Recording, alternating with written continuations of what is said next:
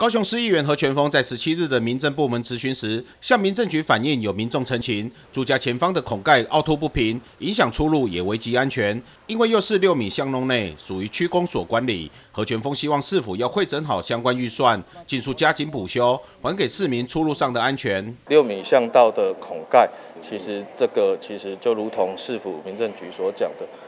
呃，市民朋友对这个的感受是最深的，因为其实就是在家门口。那过去其实是做的每年施作的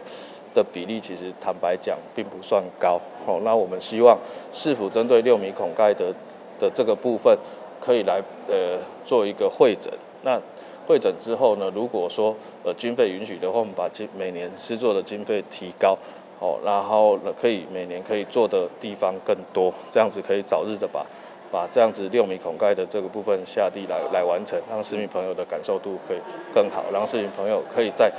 领导出来的门的路，就是一个真好的路，一条真悲顺的路。另外，由于两任市长都没有住在市长官邸，行政国际处加以整理，并开放 NGO 公益团体的申请，但是租借效益不佳，将进一步对外开放一般机关团体租借申请。何全峰也鼓励行国处这项便民措施，将可以让更多市民朋友认识官邸。呃，规则的呃修正已经正式的公告了，所以现在已经有呃调整，就是说不只是公益性的社团，一般的社团机关团体都可以来申请。其实在这两年，其实呃从市长上任以后，一直希望市长官邸可以做更有效率，呃呃更更让市民朋友哈，甚至一些团体可以来使用。可能是因为疫情的关系，那在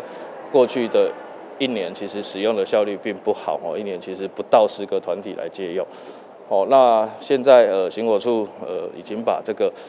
呃限制呃修改掉了，那呃不再是限，而是 NGO 才可以来团体来才可以来借用。那我们希望是透过这样子限制的解除，那让更多的市民朋友、更多的团体知道有一个这么好的地方市长官邸，那希望更多的团体可以来借用市长官邸来办活动。何全峰也在咨询时提到，因应环保政策的推动，环保金炉的设立规划要加速，提升空气品质，也间接使民众养成集中烧化金子的环保观念。记者李佳龙高雄采访报道。